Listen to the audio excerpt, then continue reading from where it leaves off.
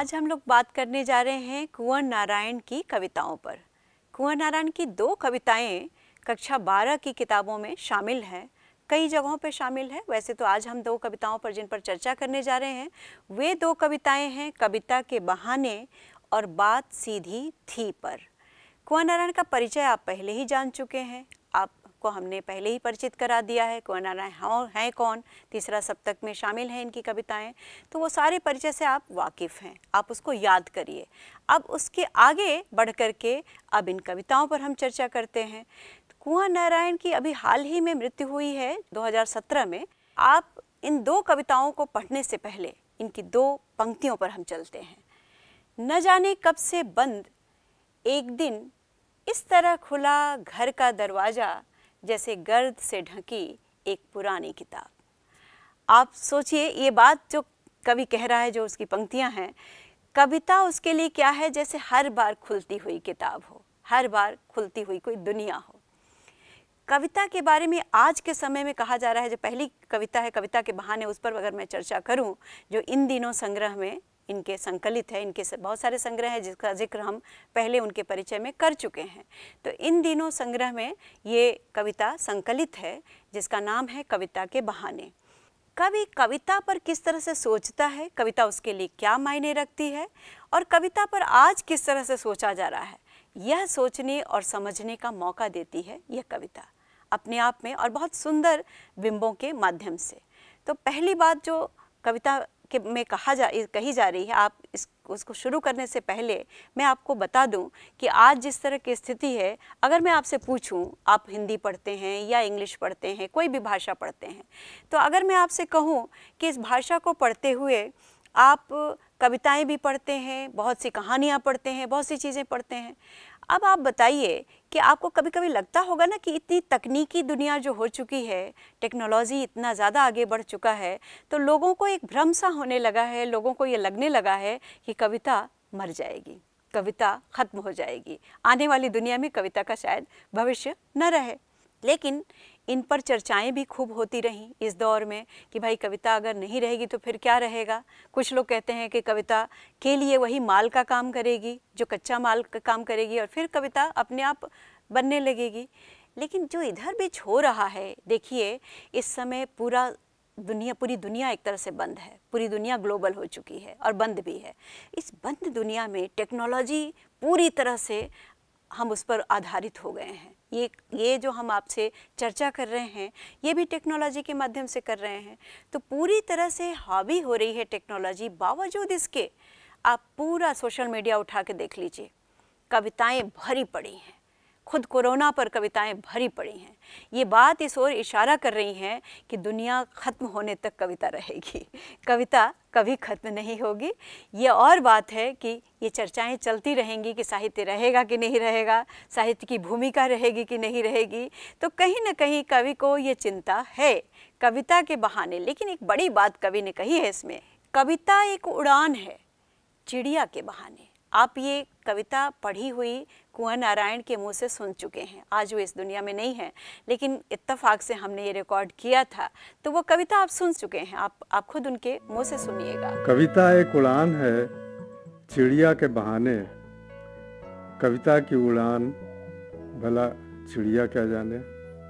बाहर, भीतर, इस घर, उस घर। कविता के पंख लगा, उड़ने के माने चिड़िया क्या जाने? कविता एक खिलना है फूलों के बहाने। कविता का खिलना, भला फूल क्या जाने? बाहर भीतर, इस घर उस घर, बिना मुरझाए, महकने के माने फूल क्या जाने? कविता एक खेल है बच्चों के बहाने। बाहर भीतर, यह घर वह घर, सब घर एक कर देने के माने बच्चा ही जाने। अब आप देखिए कि दो बातें सामने आई हैं। एक तो ये कह रहा है कि कविता एक उड़ान है उसके उसके मन में कविता के गुण याद आ रहे हैं कविता की विशेषताएँ कविता की पहली विशेषता कल्पना उड़ान। पहली विशेषता है उड़ान और या यूँ कहिए कि आ, जो कल्पना है जो चिड़िया में भी दिखाई पड़ेगी। चिड़िया की भी एक विशेषता है उड़ान चिड़िया उड़ती है। तो चिड़िया की उड़ान से कविता की उड़ान को मिलाने की पहले तो कवि ने कोशिश की है शुरुआत में कहा है। तो चिड़िया जिस तरह उड़ती है कविता भी कहाँ कहाँ उड़ती है? कहा जाता है कि जहाँ न पहुँचे रवि, वहाँ पहुँचे कवि। तो जहाँ सूरज की भी किरण न पहुँचती हो, वहाँ कवि की कल्पना पहुँच जाती है। कवि सोच लेता है उसके बारे में और एक जगह बैठा हुआ वो दुनि पूरी दुनिया के बारे में सोच लेता है। अंधेरे के बारे में, उजाले के बारे में, अतीत के बारे में, वर्तमान के बारे में, भविष्य के बारे में। तो यहाँ उड़ान जो उसकी है, कल्पना जो उसकी है, बिल्कुल उसी तरह की है जैसे चिड़िया की उड़ान। लेकिन जैसे ही यह विशेषता उसके ध्यान में आती है कवि के, तुरंत अगली पंक्ति में वो कहता है, कविता की उड़ान, भला चिड़िया क्या जाने? चिड़िया फिर भी पीछे रह जाती है। चिड़िया आकाश में उड़ती है। कविता हर जगह उड़ सकती है। कविता की कल्पना आपको अंधेरे में मैंने कहा, अतीत में, वर्तमान में, हर जगह जहाँ किसी की दृष्टि न जा रही हो जहाँ सूरज भी न जा रहा हो, जहाँ न पहुँचे रवि, वहाँ पहुँचे कवि। तो जहाँ सूरज की दृष्टि भी न जा रही हो, वहाँ भी कविता पहुँच सकती है, कविता की उड़ान पहुँच सकती है। यानी अगर कविता की उड़ान से कल उसकी तुलना की जाए तो चिड़िया की उड़ान फिर भी फीकी पड़ जाएगी। यानी कविता उससे बड़ी चीज़ है, कविता उससे अलग चीज़ है। अब एक और बात ध्यान देने की है इसमें, भला चिड़िया का क्या जाने? भला शब्द जब आया, हम लोग कब कहते हैं? ये ऐसा प्रयोग कब करते हैं? भाषा पर भी ध्यान देते हैं हम लोग चले जाएँ, ऐसा प्रयोग हम लोग कब करते हैं? तब आपके मन में ये ज़रूर सवाल आ रहा होगा, तब ये प्रयोग करते हैं, जबकि कहते हैं अच्छा अच्छा भला तुम क्या जानो? यानी आने, सामने वाले को हम बहुत बेवकूफ़ समझने या बेवकूफ़ साबित करना चाहते हैं। सामने वाले को कमतर साबित करना चाहते हैं तो हम कहते हैं, भला तुम क्या जानो इस चीज़ को, जो हम जानते हैं? अपने अनुभव पर गुरूर करना, अपनी अनुभव पर गर्व करना। तो अपने अनुभव पर गुरूर और गर्व के लिए भला शब्द आ रहा है। भला शब्द उसने लिया कि, भला तुम क्या जानो? कविता की उड़ान, भला चिड़िया क्या जाने? चिड़िया वहाँ कैसे पहुँच सकती है? चिड़िया की उड़ान इतनी नहीं हो सकती है। तो इस विशेषता की ओर हमारा ध्यान देना, जाना चाहिए कि कवि ने यह अर्थ पैदा कैसे किया? यह अर्थ सौंदर्य कैसे पैदा किया है? कविता पढ़ने का सबसे बड़ा उद्देश्य ही यही होता है कि कविता में भाषा कैसे बरती जा रही है? बरतना, भाषा का प्रयोग कैसे हो रहा है? तो भाषा के प्रयोग से कैसे यह अर्थ सौंदर्य, यह चमक अर्थ की पैदा की गई है, जिसमें यह बात कही जा रही है कि केवल चिड़िया उड़ना तो जानती है, लेकिन कविता की तरह वह फिर भी नहीं उड़ सकती। कविता से वह फिर भी कमतर है। दूसरा जो बिम लिया है यहाँ पर कवि ने, वो फूल का है। फूल क्या करता है? कविता एक खिलना है फूलों के बहाने। कविता का खिलना भला फूल क्या जाने? बाहर, भीतर, इस घर, उस घर। बिना मुरझाए महकने के माने भला फूल क्या जाने? ये ध्यान रखिए कि पहले चिड़िया से उसने तुलना की, अब फूल से करता है। तो कविता का महकना क्या हो सकता है? ज़रा कल्पना करिए, सोचिए तो सही कि कविता का खिलना क्या हो सकता है? कविता की महक क्या हो सकती है? कविता की महक उसका अर्थ होगी। फूल की महक सुगंध दूर तक जाती है जैसे। वैसे ही कविता का अर्थ, कविता की पहुँच बहुत दूर तक है। सारे दुनिया में एक कविता पहुँच सकती है, ऐसा भी हुआ है। अनुदित होकर दूसरी दूसरी भाषाओं में कहाँ कहाँ तक उसकी पहुँच है? आम लोगों तक भी पहुँच सकती है। तो जैसे रामचरित मानस को ही याद कर लीजिए। रामचरित मानस तुलसीदास की कहाँ कहाँ उसकी पहुँच है? पूरी दुनिया उसको जानती है, कई भाषाओं में अनुदित हो चुका है। तो ऐसी बहुत सी कविताएँ दूर दूर तक पहुँचती हैं, खुशबू उसकी दूर दूर तक पहुँचती है। यहाँ कवि कहता है कि फूल की तरह अगर उसकी मैं उसको सोचूं तो उसमें भी महक तो है। कविता की एक महक है, फूल की एक महक है, लेकिन फूल मुरझा जाता है। फूल की ये विशेषता है कि फूल मुरझा जाता है। बिना बुन, मुरझाए महकने के माने फूल को नहीं आते हैं। वो मुरझाएगा, महकेगा, लेकिन मुरझा जाएगा। लेकिन कविता बिना मुरझाए महकती रहती है। हमेशा रहती है। कभी नहीं रहता है इस दुनिया में, तब भी रहती है। न जाने कितने समय पुरानी कविताएँ भी आज हमारे पास हैं। फूल आज खिला और कल नहीं रहेगा। उसकी खुशबू ज़रूर रहेगी, लेकिन वह नहीं रहेगा। लेकिन कविता में वह विशेषता है तो कविता फूल भी सिर्फ़ नहीं हो सकती, कविता चिड़िया भी सिर्फ़ नहीं हो सकती। भला शब्द का यहाँ भी वही प्रयोग किया गया है, जैसे मैंने पहले कहा कि भाई, कहीं गुरूर एक गर्व की बात है कि जो ये बात कविता में दिखाई पड़ रही पड़ रही है, वो फूलों में नहीं दिखाई पड़ रही है। तीसरा जो बिंब आया है कि कविता एक खेल है बच्चों के बहाने। बाहर, भीतर, यह घर, वह घर, सब घर एक कर देने के माने बच्चा ही जाने। बहुत सुंदर है कि बच्चा का जब ज़िक्र आया तो कवि कहता है कि अगर मैं कविता की तुलना बच्चे से करूँ तो शायद यह उचित होगा। क्योंकि बच्चा क्या करता है, बच्चा किसी सीमा को नहीं जानता है, न जाति की सीमा को न घर की सीमा को, न देश की सीमा को, न धर्म की सीमा को। तो उसके लिए मायने नहीं रखते, रिश्तों की सीमा को भी वह नहीं जानता है वह सिर्फ़ प्यार जानता है। तो प्यार उसकी सीमा है और प्यार ही उस, प्यार ही उसकी दुनिया है। तो वो बिल्कुल भी नहीं उसके लिए कोई सीमा है। तो इस घर, उस घर कई रूपों में वह उसको अगर देखा जाए तो वह कविता के मायने तक पहुँचता है। क्योंकि बच्चा, बच्चे की कल्पना भी दुनिया में कहीं भी पहुँच सकती है। बच्चा प्यार के दृष्टि से भी देखा जाए तो वो दुनिया में उसके लिए कोई पराया नहीं है। हर कोई अपना है, हर कोई उसके अपने करीबी है। भाषा हो तो भी उसके लिए बहुत मायने नहीं रखती। कोई दूसरी भाषा हो, कोई दूसरी लोग हों, दूसरे जाति के लोग हों, दूसरे समुदाय के लोग हों, दूसरे धर्म के लोग हों, दूसरे देश के लोग हों, वो सब उसके लिए कोई मायने नहीं रखती। यानी कोई दीवार उसके लिए मायने नहीं रखती। बिल्कुल यही काम कविता के साथ होता है। कविता के लिए भी कोई दीवार उसकी मायने नहीं रखती है। जैसे जैसे हम बड़े होते हैं, हमारी समझदारी बढ़ती जाती है, वैसे वैसे बहुत तरह की सीमाएँ भी हमारे पास आती चली जाती हैं। दीवारें भी हम बना लेते हैं और उन दीवारों के भीतर हम कैद होते चले जाते हैं जो बच्चे के लिए मायने नहीं रखती हैं। बच्चे की सीमा असीम है, वह किसी भी जगह जा सकता है, किसी के लिए भी कल्पना कर सकता है, किसी से भी प्यार कर सकता है। किसी से भी, जहाँ कहीं से भी प्यार उसे मिला है, उससे प्यार कर सकता है। चाहे पशु हो, पक्षी हो, प्रकृति हो, व्यक्ति हो, वो हर किसी से प्यार कर सकता है, बिना किसी भेदभाव के। तो ये बात कवि कहता है, चिड़िया की अगर तुलना करूँ तो वो भी कविता के करीब नहीं पहुँचती, फूल की अगर तुलना करूँ तो वो भी कविता के करीब नहीं पहुँचती, लेकिन कविता के करीब अगर कोई पहुँचता है तो वह एकमात्र अगर मुझे लगता है कि बच्चा पहुँचता है।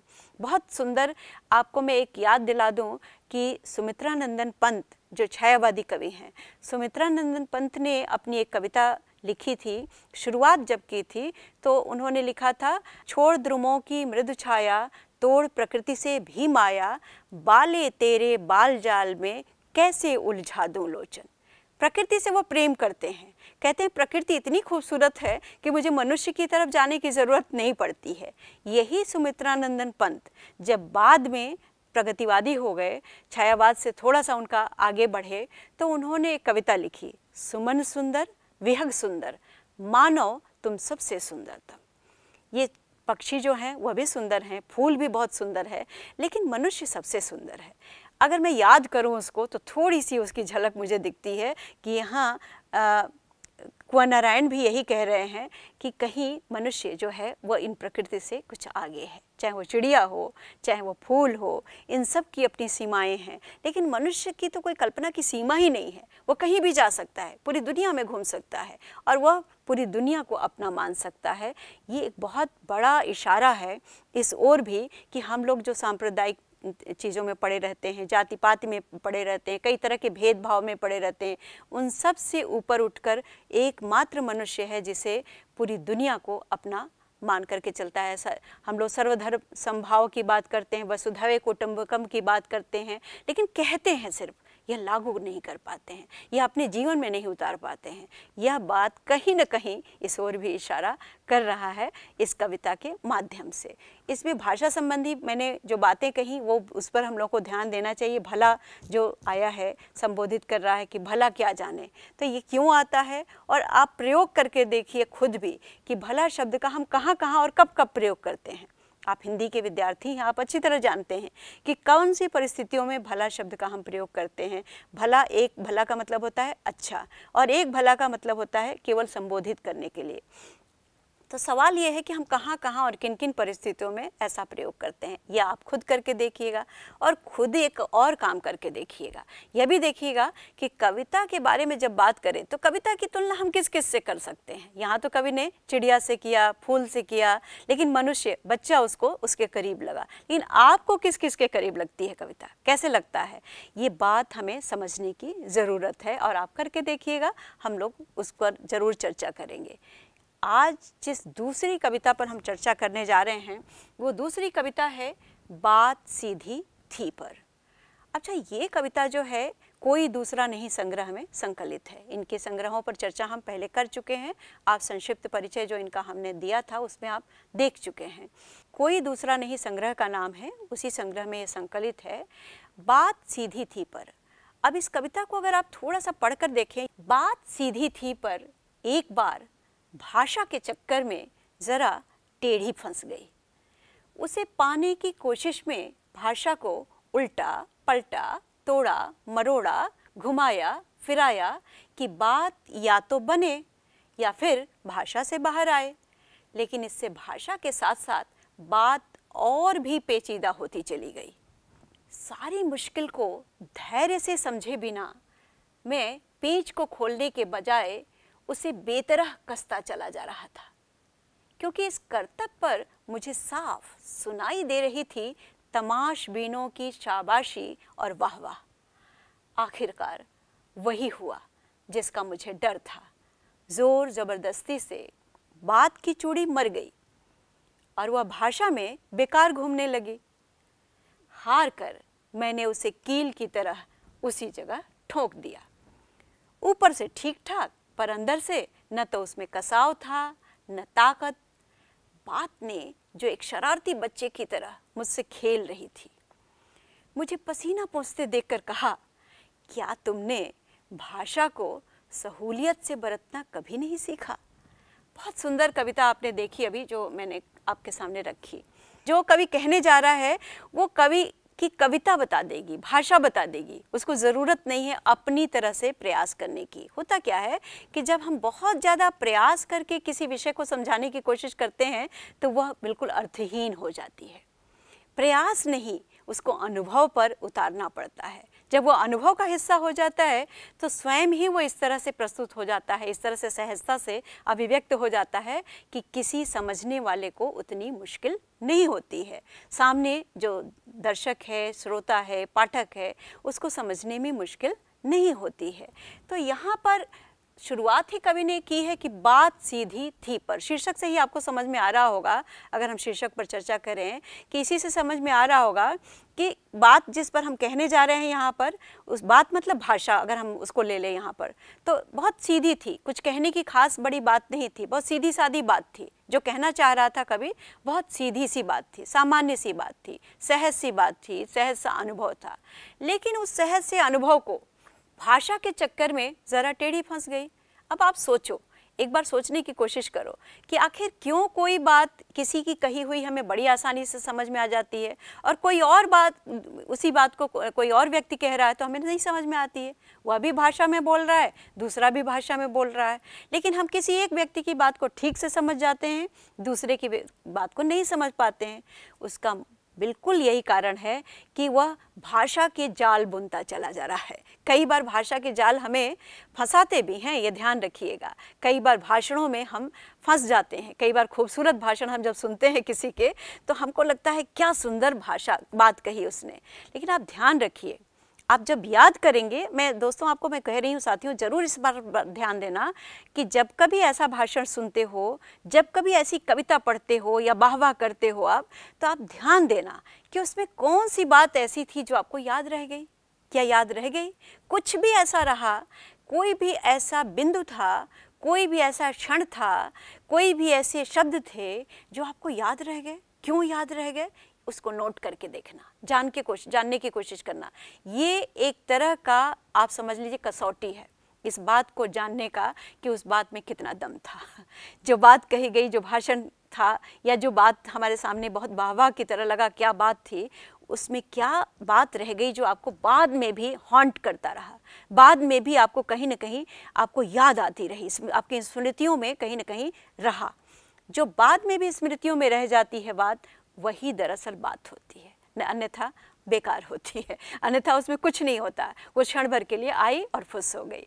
तो यहाँ जिस बात को कवि इशारा कर रहा है, उसी ओर इशारा कर रहा है कि भाषा के चक्कर में जरा टेढ़ी पर फंस गई। पूरा रूपक जो लिया है, एक कील का लिया है पेज का लिया है।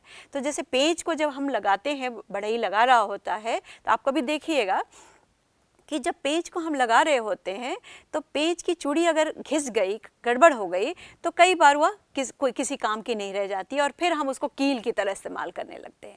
और जब कील की तरह इस्तेमाल करते हैं, दीवार में कहीं भी ठोंकिएगा, आप देखिएगा तो वह तुरंत निकल जाएगी, क्योंकि उसमें कई पेच हैं और वह कील का काम नहीं कर सकती। हर किसी की अपनी भूमिका होती है। तो कील की अपनी भूमिका है पेंच की अपनी भूमिका है। तो पेंच की को अगर कील की तरह इस्तेमाल करेंगे तो काम नहीं आएगी।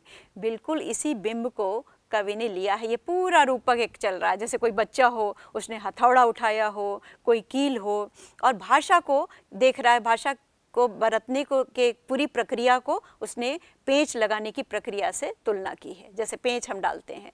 तो पेंच लगाना, पेंच लगाने की प्रक्रिया यानी भाषा को बरतने की प्रक्रिया।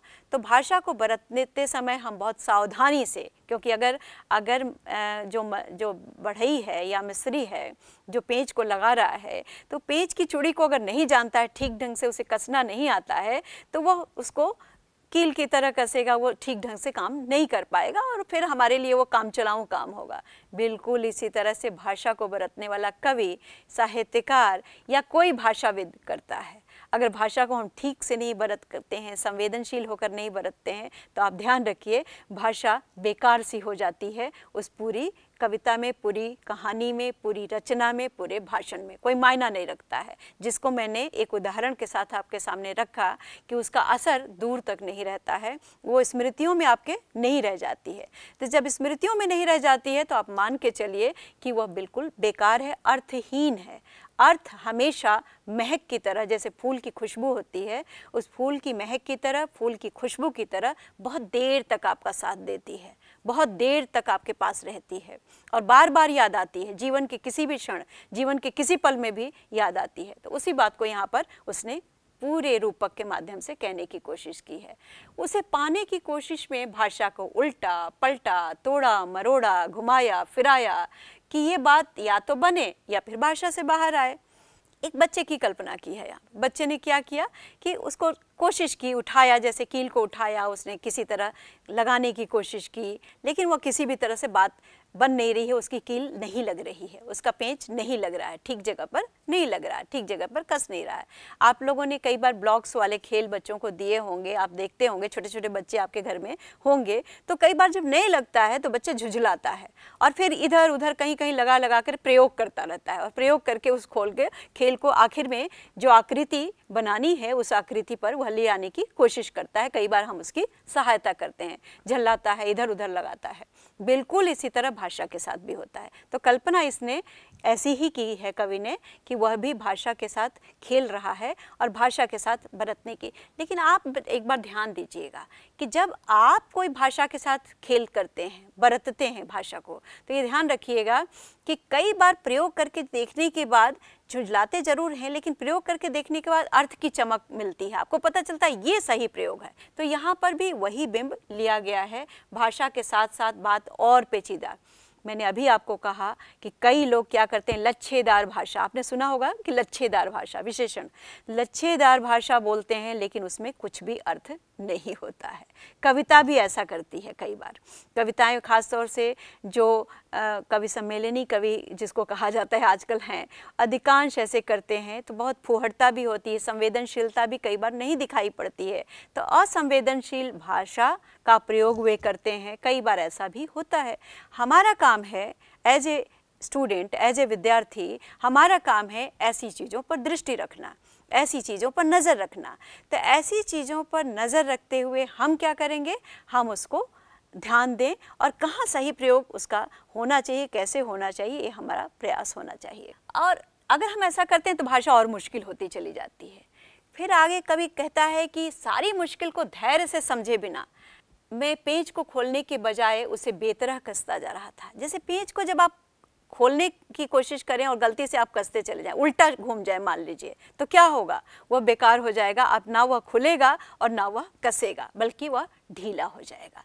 बिल्कुल उसी तरह से भाषा के प्रयोग करते समय अगर हमें ठीक ढंग से शब्दों की जानकारी नहीं है, ठीक ढंग ढंग से उसके प्रयोग की जानकारी नहीं है, ठीक ढंग से उसके अर्थ की जानकारी नहीं है तो आप ध्यान दीजिएगा कि अक्सर ऐसा ही होता है कि हम भी भाषा के साथ खेल करते हुए भाषा के साथ ज़्यादती करते हैं। उसका सही प्रयोग हम नहीं कर पाते हैं। असंवेदनशील प्रयोग हम करते चले जाते हैं। तो इस ओर हमें ध्यान देने की ज़रूरत है। फिर एक और बड़ी सुंदर बात इसने कही है बिम्बाया है, ये ऐसा कब होता है? ऐसा तब होता है जब आपकी गलत बातों पर भी वाहवाही मिलती है। जब आपके गलत प्रयोगों पर भी, जब आपके असंवेदनशील प्रयोगों पर अर्थ को समझने की ना कोशिश करते हुए केवल भाषा के चमत्कार पर वाहवाही मिलती है। तो भाषा के चमत्कार मैंने भाषण का ज़िक्र किया आपके सामने। मैंने ऐसे बहुत सी चीज़ों की ज़िक्र किया, कविता भी हो सकती है वह। तो कई बार वाहवाही हमें मिलती है और हम वैसी ही भाषा प्रयोग करने लगते हैं। यानी जो स... सामने वाले को अच्छा लग रहा है, वैसी भाषा बोलते जाना, वैसी भाषा प्रयोग करते जाना हमारी आदत बनती चली जाती है। तो वो हमें ऐसी भाषा प्रयोग करने पर ज़्यादा बल देते हैं और कह सकते हैं उस उस दिशा में हमें ले जाते हैं। तो यह भी एक कमी है जिसकी कारण हम लोग, यानी प्रशंसा। प्रशंसा जो है, वो हमें हमेशा आकृष्ट करती है। तो प्रशंसा में न जाकर हमें भाषा के अर्थ को समझने की। मैंने एक ही कसौटी है और वो दूर तक जो आपके साथ रहे, यानी स्मृति में जो रह जाए, जो स्मृति में हमेशा याद रहे, वो दरअसल अर्थ की ओर ले जाने वाली भाषा होती है। ये उसकी सबसे बड़ी कसौटी है। आखिरकार वही हुआ जिसका मुझे डर था। तो कुल मिलाकर के जो बिम चल रहा है कि पेंच को जब ज़्यादा कसने की कोशिश करेंगे तो वो बेकार सी हो जाएगी। तो बिल्कुल भाषा को जब ज़्यादा प्रयोग करने की कोशिश करेंगे तो भाषा कोई मायने नहीं रखेगी, अर्थ उसका कोई मायने नहीं रखा। इस तरह से कविता की अंत की ओर कभी पहुँच रहा है। ऊपर से लगेगा कि हमने बहुत सुंदर भाषा लिखी है, लेकिन भीतर से अगर देखा जाए तो उसमें कुछ भी अर्थ नहीं दिखाई पड़ेगा। तो बहुत सुंदर एक लास्ट में, अंत में जो मैंने कहा कीवर्ड्स जो होते हैं, बीज शब्द होती है, किसी कविता का बीज शब्द होता है। आप ढूँढने की कोशिश करिएगा। हर कविता में कोई ना कोई एक ऐसा बीज वाक्य मिल जाएगा, बीज शब्द मिल जाएगा जो पूरी कविता को खोलने में मदद करता है। एक दो बातें हम भाषा पर जो बहुत जो ज़रूरी है, मैंने कहा कि वो उड़ने के माने, ये सब तो आप करें ही। भाषा को सहूलियत से बरतने के क्या मायने होते हैं, यह भी देखने की कोशिश करिए, जानने की कोशिश करिए। एक जो बिंबों और मुहावरों का मैंने अभी ज़िक्र किया था, बात से संबंधित बहुत से मुहावरे हैं। बात का बनना, बात रखना आपने सुना होगा कि उसने मेरी बात नहीं रखी। वहाँ जा कर के मैंने बहुत कोशिश की लेकिन बात बनी नहीं। तो ये मुहावरे हैं। तो इन मुहावरे में कई तरह से इसका प्रयोग होता है। तो आप इन मुहावरों को इकट्ठा करिए और कहाँ कहाँ किन किन संदर्भों में ये मुहावरे प्रयोग होते हैं, इसको भी जानने की कोशिश करिए। एक आपके सामने सिर्फ़ रख रही हूँ कि चार पाँच मैंने रखे हैं बात की चूड़ी का मर जाना। बात की पेच खोलना, बात का शरारती बच्चे की तरह खेलना, पेच को कील की तरह ठोंक देना, बात का बन जाना, ये पूरा, ये सब कविता की पंक्तियाँ मैंने उठाई हैं।